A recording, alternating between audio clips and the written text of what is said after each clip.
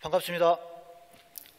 에, 저는 한 달 만에서 뵈서 반가운데 여러분은 조금 덜 반가운 것 같은 음, 그건 아니죠. 에, 바로 내려가 버린 수가 있어요. 어, 내려오기 전에 저희 중앙 현관에 보니까 아름다운 동행이라고 조계종 산하의 이제 소외계층을 돕는 재단이 있습니다. 거기서 이제 모금 활동을 하고 있더라고요. 어, 그래서 어, 기도 마치시고 올라가시면서 어, 떤 단체인고 어떤 활동을 하는지도 한번 눈여겨 보시고 우리 불교계 일이에요. 관심을 가지시고 또 나눔 활동에 동참하시는 것도 어, 좋은 연말의 의미겠다라는 생각이 듭니다. 자, 요즘 날씨가 이렇게 변덕이 심한 것 같습니다.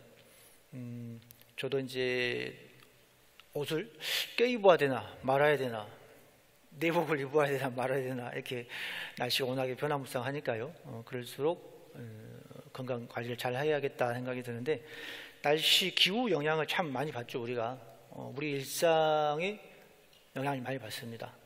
또 그 일상이 변화가 되면은 그 일상의 흐름들이 모여서 어, 사람들의 어떤 흐름으로 시대적으로 관통으로 하면 그게 문화가 바뀐다는 거죠.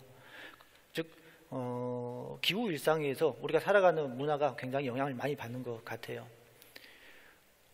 우리가 의식주도 마찬가지잖아요. 스님들도 마찬가지입니다. 우리는 북방에 살기 때문에 옷이 많아요. 그 반면에 남방은 그렇지 않죠. 굉장히 간소하게 더운 지방, 인도를 비롯한 동남아 쪽의 불교 국가들 말입니다. 뭐 수행도 마찬가지입니다. 예를 들어서 우리가 우리는 이제 북방이니까 절수행을 많이 하잖아요. 그런데 어, 남방 불교는 절수행은 그다지 하지 않습니다. 왜냐하면 최소한의 움직임을 해야 되니까 움직임을 많이 하면 덥고 에너지 소비가 많지 않습니까?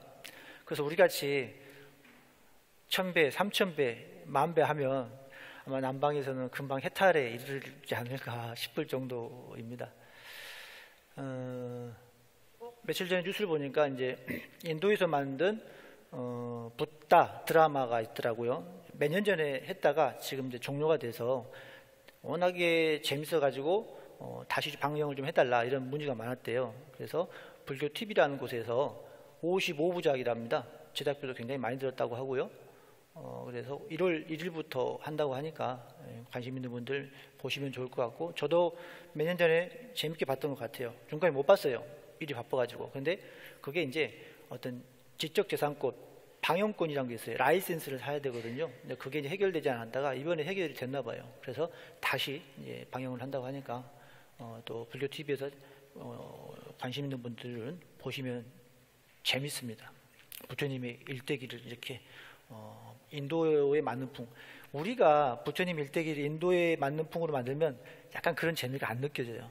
현실감이 좀 덜 나요. 그런데 인도에서 직접 제작을 했기 때문에 훨씬 어, 이렇게 수긍력이 생기더라고요. 어, 요즘 이제 극장가에서 굉장히 이제 재미있는 어, 흥행이 되는 영화 한 편이 있죠. 어떤 영화이죠? 서울에 본 보셨습니까? 어, 그냥 보세요. 나중에. 또 저는 이제 금강 청년의 보부들하고 함께 이제 가까운 잠실 시네마에서 봤습니다. 음, 보고 나서도 여러 가지 감회가 있던데요. 이제 서울에 보면 어, 있는 실화를 바탕으로 한 역사 실화 영화잖아요. 한 44년 정도 됐다고 합니다. 그럼에도 불구하고 그런 상처가 지금도 많이 남아 있는데 어, 정작 우리는 그 사건, 그 현장에 대해서 너무 모르고 있다는 생각이 들더라고요. 보통 우리는 오래된 역사에 대해서는 그런 지식이 좀 많은 편이에요. 그런데 이 현대, 근현대 역사에 대해서는 굉장히 모르고 있구나, 눈이 어둡구나라는 생각을 하게 되었습니다. 예를 들어서 어, 12.12 군사 반란에 관한 영화인데 12.12 군사 반란이 일어나서 성공한 쿠데타였다. 그리고 정권을 얻었다. 라는 것은 이게 역사적인 사실이잖아요. 다 안단 말이에요. 그런데 왜 12.12 사건이 일어났는지 12.12 그날 어떠한 일들이 있었는지에 대해서는 잘 몰라요. 저도 사실 몰랐어요. 그래서 이제 영화를 통해서 물론 영화가 어느 정도 가미된 부분이 있지만 어떤 사실적인 부분을 근거로 하기 때문에 어, 상당히 이해하는데 좀 도움이 되었던 것 같아요. 그래서 지금 큰 유행을 하고 있습니다. 어, 700만 명이 좀 넘었다고 하니까요. 굉장히 많은 인원이 보고 있다고 볼 수 있습니다. 한편으로는 이제 영화에서 군라, 군사 반란 늙게했던 전두광이요. 영화에서는 저도 전두광이라고 할게요.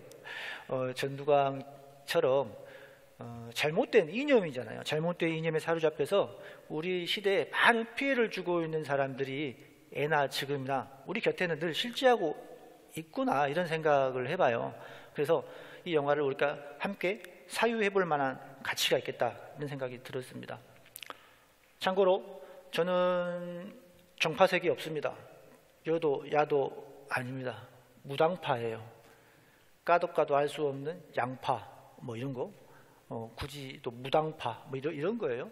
그래서 어, 미리 말씀드리는 거예요. 혹시나 또 오해를 하실 수도 있을까 봐. 사실 불교는 중도파죠. 그렇지 않습니까? 불교가 중도주의를 항상 가야 되는 거 맞죠? 음, 네, 그런 상황에서 이제 이 영화를 통해서 많이 느낄 수가 있는 여러 가지가 있는데 제작비가 230억 원 정도 들었답니다. 230억 원이면 굉장히 큰 금액이잖아요. 어, 잘 이게 수치가 기억이 안 나실 수도 있어요. 우리가 잘 아는 영화 기생충은 약 150억 원 정도 들었답니다. 그러니까 한국 영화에서 상업 영화가 개봉을 한다 치면은 어, 약 100억 원에서 300억 원 정도 사이예요. 그리고 230억 원이 들었다 치면은 손해를 보지 않기 위해서는 관객이 어느 정도 들어야 될까요? 뭐 그런 거를 이제 손익 분기점이라고 그러는데 약 460만 명이 들어와야 된답니다. 근데 지금 700만이 들었으면 굉장히 많이 들어온 거예요. 흔히 말하는 대박인 거죠. 반면에 미국과 조금 비교를 해볼게요. 미국 헐리우드 영화 워낙 유명하잖아요. 우리가 잘 아는 영화 아바타. 또 최근에 아바타 2가 천만 영화도 달성했고 그 영화는 제작비가 얼마나 될까요? 꽤 많아요. 하나로 약 2조 원입니다. 상상이 안 가죠. 저도 그런 금액이 상상이 안 가요. 도대체 공을 몇 개를 찍어야 될지. 저 상상이 나는 거는 세계적인 수익을 얻잖아요. 그 수익이 얼마냐면 하나로 약 3조 6천억 원. 너무 어마어마한 금액이라는 거예요. 이거를 얘기를 들어보면은 음, 미국이라는 나라는 영화를 물론 큰 블록버스터 영화를 말하는 거예요. 아바타처럼 만들 때 미국 시장만을 바라보지 않고 이미 세계를 바라보고 영화를 만들고 제작을 한다는 거예요. 그래서 이 영화 한 편이 미국의 의식 사고를 굉장히 공유를 시켜버리는 효과가 있단 말이에요. 그러니까 이유는 둘째 치고 그래서 문화적인 영화적 파급력이 크다는 겁니다. 사실은 어, 이번에 이제 지금 서울의 봄도 천만 영화를 달려가고 있기 때문에 그런 영향력이 있을 거다라는 생각이 들어요. 요즘 한국 영화가 굉장히 침울해져 있어요. 어려워요. 무슨 뭐 이제 OTT, 넷플릭스냐 또 이제 관람료가 비싸졌다 뭐 이런 말도 있는데 중요한 건 좋은 영화가 이렇게 만들어지면 관객들은 또 알잖아요. 또 찾아가게 돼 있고 어, 그렇기 때문에 좋은 영화를 만들면 관객들이 다시 발걸음을 한다라는 이야기가 전해질 수 있겠다 싶어요. 이제 영화 흥행 이후에 여러 가지 얘기가 있는데 그 중에 한 가지 주목할 점은 저는 젊은 세대들의 반응인 것 같아요. 20, 30대 젊은 세대들을 우리가 MG 세대라고 말을 하지 않습니까? 이 젊은 세대들이 이 서울의 봄에 굉장히, 굉장히 어, 반응이 좋아요. 몰랐던 역사적인 사실을 알게 되어서 또 그런 거에서 굉장히 감흥을 해서 서로 이렇게 입소문을 많이 내는 거더라고요.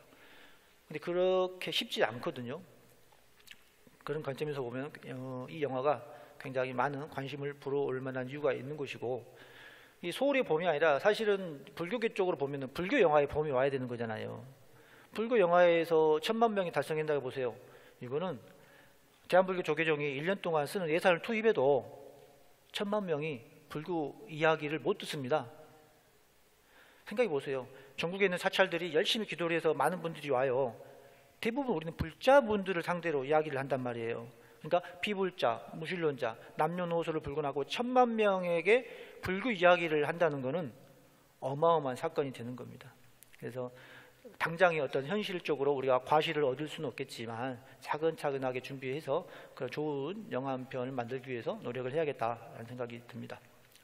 어, 아직 영화를 안 보신 분도 계실 것 같아서 줄거리를 이제 간단히 말씀드리고 어, 그다음에 이제 함께 공유해 봤으면 하는 얘기로 넘어가려고 합니다. 어, 잘 아시는 것처럼 1979년 어, 10월 26일 대통령이 시해되죠. 그리고 어, 총을 쏜 중앙정보부장 김재규에 의해서 대통령과 경호실장이 숨을 거둬요. 다 아시는 내용이잖아요. 그날의 9시간의 기록, 전두광과 하나회, 하나회는 어, 육군사관학교의 사조직 모임이에요. 뭐 특별한 단체가 아니에요, 사실은. 근데 워낙에 권력이 센 단체죠. 하나의 세력들이 일으킨 쿠데타 9시간의 기록을 만든 영화가 서울의 봄이다라는 겁니다. 이 하룻밤 사이에 쿠데타가 일어났는데 당시 시민들은 전혀 몰랐다고 합니다. 여기 여기 계신 분들도 그날 아마 기억이 있는 분들이 있으실 것 같아요. 굉장히 영화를 보면 감회도 새로울 것 같고 이 영화를 만든 감독이 김성수 감독인데요. 당시 19살이었대요. 19살이었는데 사는 곳이 서울 한남동. 어, 예나 지금이나 한남동은 국방부 관련된 관사들이 많아요. 새벽에 한 20분 정도 총소리가 많이 났대요. 근데 아무도 몰라. 왜 총소리가 났는지 그 당시에. 한 10년이 정도 지난 후에야 이 감독이 이제 대학을 다니면서 당시가 이제 80년대 민주화 운동 분위기가 좀 있었을 때니까 그때 이제 비로소 여러 가지 사안들에 대해서 알게 되었다라고 합니다. 왜 이 12.12 군사 반란은 언론에서도 소개를 잘 하지 않았을까? 왜 그럴까요? 그것은 그분들이 생존에는 살아있는 권력들이었기 때문에 그러지 않겠는가. 그래서 그분들이 비로소 이제 저 세상으로 간 이후에야 이 영화는 만들 수 있게 된 거다라고 제가 아니라 평론가들이 얘기를 하는 거예요. 그래서 이제 12.12 군사 반란의 핵심은 전두광과 하나의 세력들이라는 거죠. 당시 보안사령관이 전두광 소장이었어요. 그리고 어, 대통령 시해 사건의 수사를 총괄 지휘한 사람이 이제 합동수사본부장인데 전두광 소장의 겸임을 해요. 근데 이 자리가 어마어마하게 중요한 자리예요. 왜? 정보를 가질 수 있는 자리예요. 그래서 경찰, 검찰, 보안사가 이 정보를 독점하는 기관인데 이제 보안사가 다 독점을 하게 됐어요. 그래서 불행의 씨앗은 여기서부터 사실 시작을 된다는 거지요. 그래서 전두광과 하나의 사, 하나의가 가장 먼저 한 사건은 이제 당시 계엄 사령관이면서 육군 참모총장을 체포하는 것부터 시작됩니다. 한남동으로 새벽에 가서 그 총송이 그 총송이에요. 새벽까지 계속 이제 이어지거든요. 그리고 이제 영화 속에서 나온 내용이 전두광이 이제 반란이 일어났잖아요. 그 반란을 진압하기 위해서 정부, 종규군이 또 투입이 돼요. 그게 이제 팔공수부대. 실제적으로는 이름이 좀 달라요. 영화에서는 팔공수부대라고 그래요. 팔공수부대가 서울로 진입을 합니다. 이 소식을 이제 전두광이 늦게 한 거죠. 큰일 났죠.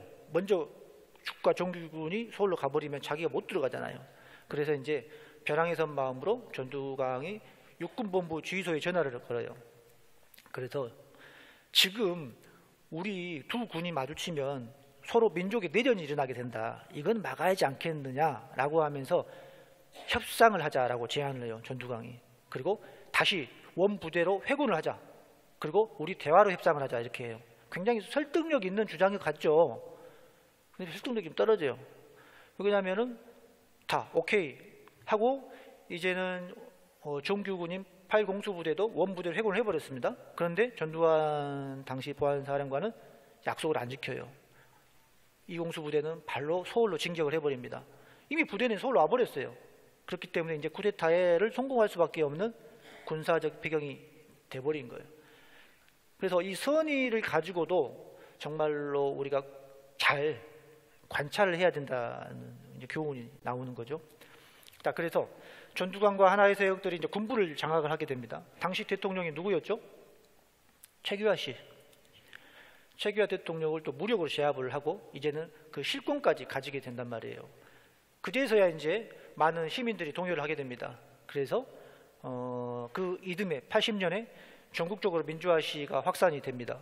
여러분 잘 아시는 이제 광주 5.18 이 사건도 그때 당시의 기록이라고 볼 수 있어요.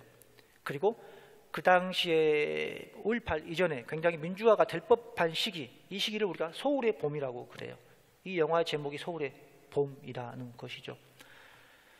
그리고 80년에 이제 11월 달에 언론 통폐합이 단행됩니다. 언론 통폐합이 단행되는 건 민주주의의 바탕을 소멸시키는 일이거든요. 왜냐하면 우리는 뉴스를 통해서 다 정보를 구하잖아요. 근데 그 매체를 통제를 해버리니까 그리고 또 10월 26일, 27일 굉장히 불교적으로는 중요한 사건이 납니다. 범난이 발생해요. 여러분 범난 들어보셨어요? 네, 저, 제가 말을 해드릴게요. 어, 신군부 세력, 그러니까 정권을 탈취한 신군부 세력이 어, 불교에 대한 대규모 탄압을 한 사건을 범난이라고 그래요. 그 당시에 약 3천 명 정도 되는 스님들과 제가 불자들을 강제로 구속, 구인, 고문을 하게 됩니다. 그리고 각 사찰, 전국의 사찰 암자를 군인들이 수색이라는 명목으로 군합발로 짓밟아요. 이건 제가 볼 때는 어, 현대 불교 역사에 있어서 가장 치욕스러운 날이에요, 사실은. 근데 우리는 그걸 잘 몰라요. 누구도 잘 말해주지 않고, 물론 종단에서 홍보를 하긴 하는데 우리 불자들이 세세한 내용을 잘 모른다는 거예요. 그 궁금하잖아요. 왜 불교지? 다른 종교도 많을 텐데. 그 당시에 80년 정도 되는 시기에는 사실은 이런 기성 종교들은 그렇게 우호적이지 않았어요. 신군부 세력에. 예를 들어서 어, 당시 총무원장이 월주 스님이었습니다. 월주 스님이 80년 5.18 민주화 시위가 생기니까 광주까지 내려가셔가지고 그런 시민들을 격려를 하고 와요. 그러니 신군부에서는 좋아하지 않겠죠. 일반 시민들, 국민들은 좋아하지만 그래서 이제 신군부 정권에서 종교계를 좀 무력으로 지도를 해야겠다는 생각을 해요. 그런데 카톨릭을 보니까 어때요? 카톨릭은 여러분 잘 알겠지만 로마 교황청은 거의 하나 국가예요. 그리고 전 국제적인 네트워크 시스템이 잘 돼 있습니다. 한국 카톨릭을 잘못 건드렸다가는 국제적인 망신일 뿐더러 오히려 국제적인 그 여론에 휘말릴 수가 있잖아요. 그럼 개신교는 어때요? 개신교는 미국이 버티고 있잖아요. 그때는 미국에 우리가 승인을 받아야 한다고 생각을 했을 거 아니겠습니까? 그런데 미국의 심계를 건드리면 안 되잖아요. 그러니까 이제 만만한 게 불교와 민족 종교인데 그 당시 민족 종교는 뭐가 있습니까? 별로 없어요. 유교, 천도교, 증상계열 종교밖에 없는 거예요. 근데 이 세력들은 좀 미비해요. 그러나 불교는 전국적으로 굉장히 신도도 많고 또 명분도 좋아요. 정화. 불교계를 좀 정화하겠다. 그래서 사실 그 잘못된 뉴스를 접하고 당시에 많은 신도분들이 불교계를 떠났다는 이야기도 있어요. 사실. 그런 정말로 아픈 치욕의 역사가 이 서울의 뭔가 연관이 돼요. 쭉 우리 불교계에도 정말 가슴 통탄할 일이 이어진다는 겁니다. 어, 이 영화를 보면서 그런 느낌을 갖는 거죠. 전두광 한 개인의 그릇된 전체주의적 이념이 정말로 국민과 국가를 얼마나 희생을 치러야 하게끔 했는가를 볼 때 저는 독일 그 나치 전체주의 사고와 닮아있다라는 생각을 들더라고요. 민주주의 반대가 전체주의라고 우리가 말을 할 수 있거든요. 어, 독일 나치 하면 생각나는 게 누가 있죠? 아돌프 히틀러 있죠. 그런데 제가 드린 말씀은 어, 아돌프 아이만이라는 사람이 있어요. 아이만의 재판이 굉장히 세계사적으로 유명한 사건인데요. 아이만이 누구냐? 히틀러가 유대인 대학사를 실행할 때 그 실무 책임자가 아히히만이었어요. 그래서 아히히만은 정말로 어, 유대인 사회에서는 악마로 비울 정도로 그렇게 악인으로 규정이 된 사람이란 말입니다. 그래서 유대인 600만 대학살의 실무 총책임자가 아히히만인데 독일이 전쟁을 패하자 이제 도망을 가요. 이 아히히만이라는 사람이 아르헨티나로 망명을 떠납니다. 몰래. 그리고 거기서 살아요. 그러다가 1960년 정도에 이스라엘의 정보기관인 모사드라고 있는데 거기 체포가 돼요. 그래서 에루살렘에서 재판을 받게 됩니다. 전 세계가 이제 관심이 집중되죠. 이 아이미한 사람이 궁금했는데 이제 재판정을 섰지 않습니까? 막상 가서 보니까 어, 세계 사람들이 놀랍니다. 그냥 너무나 평범해. 그리고 친절하기까지. 우리가 볼 때는 600만 유대인 대 학살의 총 책임자였으면 악마나 이렇게 악인으로 규정을 했단 말이에요. 근데 너무나 평범한 사람인 거예요. 재판장에서 그 아이만은 이렇게 얘기를 합니다. 나는 오로지 상관의 지시에 의해서만 어느 것도 덧붙이지 않고 그저 성실하게 임무를 수행했을 뿐입니다. 라고 말해요. 죄의식이 없는 거예요. 그냥 나는 했을 뿐이다. 나야 일에 불과했다. 어떻게 사람을 죽이는 게 사람의 일이 됩니까? 우리는 그렇게 생각하지만 이 사람은 그게 아니에요. 그냥 나는 성실한 그 자체였다라고 그래서 난 죄가 없다 이렇게 말을 하는 겁니다. 그 당시 재판에 이제 그걸 기록하기 위해서 어, 또 이제 홀로코스트 희생자이고 어, 독일의 여성 철학자인데 한 아렌트라는 사람이 있었어요. 굉장히 중요합니다. 한 아렌트라는 사람이 그 아이만의 재판을 계속 기록을 해서 세상에 공표를 해요. 그래서 이제 우리가 알게 되는 거거든요. 이 사람이 이제 아이만을 재수를 해보니까 성장 과정도 평범했어요. 또 나치 이전에 공무원 생활을 했는데 공무원 생활도 너무 성실하게 한 게예요. 기록을 보니까 주법 정신도 정말 투철해요. 그 얘기는 뭐예요? 우리가 흔히 볼 수 있는 주위에 그냥 아저씨 같은 사람이라는 거예요. 평범한. 그게 오히려 더 충격적이었다라고 이 여성 철학자는 말합니다. 그래서 그 재판 이후에 책을 한 가지 써요. 에루살렘의 아이히만이라는 책을 써요. 이제 이 책이 나오면서 어 굉장히 이제 세계적으로 어 파, 파란 정도는 아니지만 문제가 생깁니다. 그 내용에는 이렇게 되어 있어요. 선량하고 평범한 사람이 어떻게 악행을 저지를 수 있는가를 주요 내용으로 해요. 그리고 중요한 말은 악의 평범성, 악의 평범성이라는 말을 세상에 화두로 던져요. 우리는 그때까지 그런 생각을 못 해봤거든요. 음, 그러니까 12.12 군사 반란을 일으킨 전두광 또한 사실은 평범했어요. 왜냐, 어, 사관학교 하나회를 만든 사람이긴 해요. 그 사회 만들 때 인간관계의 친화력이 굉장히 좋았대요. 사교성이. 아이만 또만 그랬다는 거예요. 성장 과정도 평범했고 오히려 당신은 그런 말을 해요. 나는 오히려 유대인들을 위해서 유대인들의 편의를 위해서 굉장히 성실하게 수행했을 뿐이다 라고 이렇게 계속 변론을 한단 말입니다. 그러니까 다시 말씀드리면 이 악의 평범성은 모든 사람들이 당연하게 여기고 평범하게 행하는 일이 악이 될 수 있다. 그런 얘기를 하는 겁니다. 그런 관점에서 보면은 어, 아이만의 그런 양면적인 얼굴은 사실 우리 자신의 어떤 모습이기도 하다라는 거예요. 그래서 우리가 이런 관점을 한번 볼 필요가 있다는 겁니다.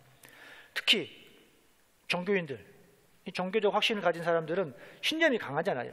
그 신념이 강하기 때문에 어떤 잘못된 신념을 가지면 매우 독선적으로 갈 수밖에 없어요.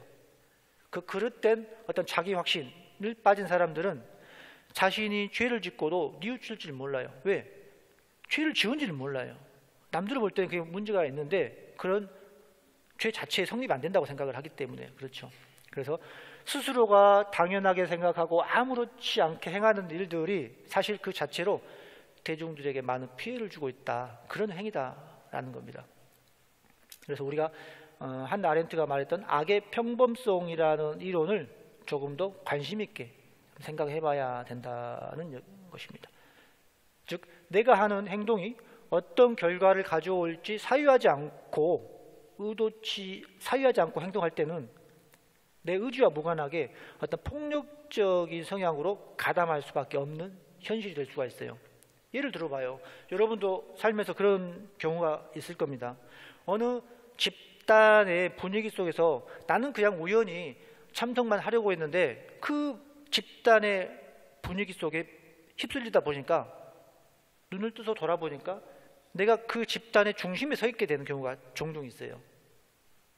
그때 우리는 사실을 자각하고 여실직연하고 다시 나오면 좋은데 못 나오면 그건 하나의 감옥인 거예요. 감옥. 빠져나올 수 없는 사견의 감옥에 갇혀버린 거예요. 음, 그래서 우리가 문제는 사유하지 않는 순간에 우리도 누군가를 향한 그런 폭력의 가해자가 될 수 있다 이런 사실입니다. 도대체 그 평범한 나치의 전범 아이만은 왜 그렇게 큰 엄청난 악을 저질렀을까를 물어볼 수 있겠죠. 어, 책을 쓴 안나 하렌트는 이렇게 얘기를 합니다. 그는 사유하지 않았기 때문이다. 사유하지 않았기 때문에 악을 인식하지도 못했고 그렇기 때문에 악을 자행한 경우다라고 결론을 내려요. 과거 이제 불광 출판사에서 이제 발간했던 검색의 시대 어, 사유의 회복이라는 책에 있습니다. 거기서도 이런 내용이 있어요. 저자가 적어놓기를 사유하지 않은 죄야말로 세상에서 가장 근본적인 죄다 라고 말하는 거예요. 자, 그렇다면 우리는 그렇다면 올바른 사유의 실마리는 도대체 뭘까? 우리는 당연히 부처님 말씀에서 가져와야겠죠. 부처님은 이렇게 말씀하셨어요. 설령 내가 말했다고 해서 진리라고 결정 짓지 마라. 나의 말도 의심하고 헤아려 보아야 한다라고 말하는 거예요. 여러분 많이 들어보셨을 거예요. 그렇게 많이 들어봐도 이게 잘 안 돼요, 사실. 그러니까 항상 사유하는 습관을 들여야 된다는 거. 이게 이성적으로 맞는 일인가? 그래서 부처님은 늘 제자들에게 거듭 사유하고 사유에서 내가 가야 할 길과 가지 말아야 할 길을 분명하게 확립해라. 이렇게 단호하게 말씀을 하셨습니다. 그래서 맹목적인 믿음은 그건 자신도 불교도 도움이 안 돼요. 어떤 자신도 불교도 지킬 수가 없습니다. 물한잔 마시고 가겠습니다. 목소리 잘 들리죠? 제가 기억해 보니까 저번 주하루 때인가 마이크가 입속에 들어가고 있더라고요. 가까이 가다 보니까 빨리 끝내야 되는데. 어, 하여튼 어, 이제 우리가 이제 생각 없이 악을 저지르는 경우를 얘기를 하려고 하는 건데요. 어떤 아이만 같은 경우는 어떤 그 그런 지시와 선동 자체가 굉장히 어, 우리 한번 생각을 거슬러 봐야 돼요. 왜냐하면 우리처럼 생각을 제대로 못하게끔 방해를 한 그런 지지와 선동을 한단 말이에요. 예를 들어서 은근슬쩍 합법을 가정하는 경우를 많이 해요. 그러니까 우리가 살인, 추방 이런 경우는 굉장히 일륜적으로 끔찍한 말들이잖아요. 근데 그런 말들을 교묘하게 합법적 승인, 최종적 결정 이런 말들로 바꿔요. 그러니까 법의 어떤 권력의 힘을 이용을 해서 포장을 잘하는 것이죠. 이렇게도 볼 수 있어요. 여담이지만 밖에 길거리를 가다 보면 아울렛에서나 이렇게 대형마트에서 큰 현수막을 걸고 써 있는 게 그렇죠. 완전 세일, 폭탄 할인, 재고 할인. 그런데 실질적으로는 마트 사장님들이 손해를 봅니까? 손해 안 봐요. 마진은 그대로 남아요. 심지어는 사장님이 완전 망했습니다. 돼 있잖아요. 절대 안 망해요. 우린 근데 거기에 속는 경우도 있잖아요. 사실은 그거 보고 현혹해서 홍보 문구 보고 가는 경우도 있잖아요. 어, 또 어떤 면에서 보면 그런 거죠. 사회적으로 볼 때는 기업에서 인력 감축을 할 때 정리해고라는 말을 하죠. 사실은 굉장히 어두운 용어예요. 그런데 이거를 행정 용어로 순화하니까 정리해고라는 그럴싸한 말로 변화가 돼버린 거예요. 그 말만 들으면은 잘 이해가 안 돼요. 또 전쟁에서 우리가 어, 전투기가 공중에서 지상을 폭격하는 것을 공중 지원이라고도 부른답니다. 그 말이 안 된다는 거잖아요. 사람들을 폭격하는 건데 어떻게 공중 지원이에요? 근데 전쟁 용어로서 그렇게 미화를 해버리는 거예요. 그러니까 전쟁 자체가 미화가 돼버리는 거예요. 그 의미 맥락에 따라서. 그래서 우리는 그 잘 사유해서 이야기를 듣고 해석을 할 필요가 있다는 것이죠. 그래서 왜 진실이 아닌 거짓말을 이렇게 만들어내느냐 볼 때는 음, 현실을 왜곡하고 은폐시키고 사람들을 하여금 지금 현실을 잘 느끼지 못하도록 하려는 목적이 있습니다. 즉 전체를 위한다고는 다 말을 해요. 하지만 사실은 전체를 위해서 한 개인을 희생시키는 거예요. 자세히 보면 그렇습니다. 그래서 대중을 선동하는 일부 사람들의 이익을 도모할 뿐이라는 것을 알아야 돼요. 그걸 모르면 헤어나올 수가 없는 거예요. 사실 그 자체에서. 우리 사회에서 그런 사람들도 있어요. 하나의 경직된 사고에 갇혀 있는 사람들. 예를 들면 어, 묻지마 범죄 같은 사이코패스 그리고 사회적인 어떤 영향력이 없는 사람들한테 가해지는 가스라이팅 이런 사람들 있잖아요. 이런 사람들은 자꾸 극단적으로 치다르면서 본능에 충실하면서 이성적인 사유를 하지 않기 때문에 그렇다는 거예요. 어떻게 보면 우리 주위에도 꽤 있어요. 몰라서만 그렇지. 그래서 자 불교에서는 항상 사유하고 행동할 것을 강조를 합니다. 사유하지 않기 때문에 우리는 감옥에 갇혀 있다 이런 비유를 해요. 초기 불교에서 이렇게 말을 하더군요. 중생은 네 가지 감옥에 갇혀 있다. 네 가지 감옥은 사폭류라고 말을 합니다. 그중 견해의 감옥, 견폭류라고 그러는데요. 그릇된 견해에 맹종을 하게 되면 빠져나올 수 없는 감옥에 갇히는 꼴이다 라고 말이 합니다. 무엇 때문에 그럴까? 분별심 때문입니다. 분별심으로 사실을 왜곡하고 조작을 해요. 또 끊임없이 세상을 세상살이를 분별한다는 거예요. 그러니까 옳게 볼 수가 없는 거예요. 자 그렇다면 올바른 사유를 우리는 어떻게 만들어 가야 될까? 저는 네, 그것을 마음은 무엇인가 가장 기본적인 거잖아요. 그 관찰에서부터 시작을 하면 어떨까 합니다. 그것은 우리가 잘 아는 오온, 오온에 대한 관찰이죠. 정신과 마음이라는 오온에 대한 관찰. 우리 반야신경 첫 구절에 나오지 않습니까? 조견오온 계공 도일체고에 정신과 물질이라는 오온을 공함이 비추어 보면 잘 관찰하면 모든 괴로움, 고통과 액란으로부터 벗어난다라는 얘기잖아요. 그러니까 오온을 본다는 건 뭐예요? 지금 앞에 놓여진 현실을 제대로 관찰하고 본다는 거예요. 여과 없이 어떤 뜬소문이나 소리소문에 관여하지 않고 내가 본 이성적인 사유로 본다는 걸 말하는 겁니다. 과거 광덕 큰 스님도 그런 말을 하셨어요. 오온을 탈파해야 진실상이 나타나고 그 진실상이 바라별이다라고 하셨더라고요. 그 얘기는 마음을 어둠을 몰아내고 몰아내고 내, 세, 내 속에 있는 지혜 공덕이 한량없는 지혜 광명으로 비로소 빛날 수 있다라고 이렇게 강조를 하셨습니다. 어, 한마디만 덧붙이면요, 이제 프랑스 소설가 폴 브루제라는 사람이 이런 말을 했습니다. 생각하는 대로 살지 않으면 사는 대로 생각하게 된다. 이 말이 무슨 말이죠? 사유하지 않으면 내 몸뚱이가 시키는 대로 살아갈 수밖에 없다는 얘기예요. 내 몸뚱이는 뭐예요? 감각적인 거 좋아하고 본능적인 거 좋아하고 편한 거 좋아하잖아요. 또 갖가지 소문에 약해요. 그렇지 않습니까? 그러지 말라는 거예요. 항상 사유하는 이성적인 생각을 가져야 된다. 우리 불자들은 이제 이런 말을 하고자 했다. 그래서 우리가 어, 정말 불자들의 올바른 사유란 무엇인가를 한번 생각해 보는 계기가 되었으면서 말씀을 드렸습니다. 어, 영화 이제 소울의 봄을 통해서 어, 우리가 사유하지 않을 때 그 평범한 사람일지라도 얼마나 폭력적으로 변할 수 있는가를 어, 말씀을 드리고자 했습니다. 올 한 해를 마무리 하는 초하루 날, 초하루 기도 시점이 있어서 자, 불자인 나는 정말로 올곧게 사유하고 실천하고 있는가를 돌이켜 봤으면 좋겠고요. 또 그 결과를 온전하게 내 삶에 적용을 했으면 하는 날들이 되었으면 좋겠습니다. 네, 모두 건강하십시오. 마바냐 바라밀.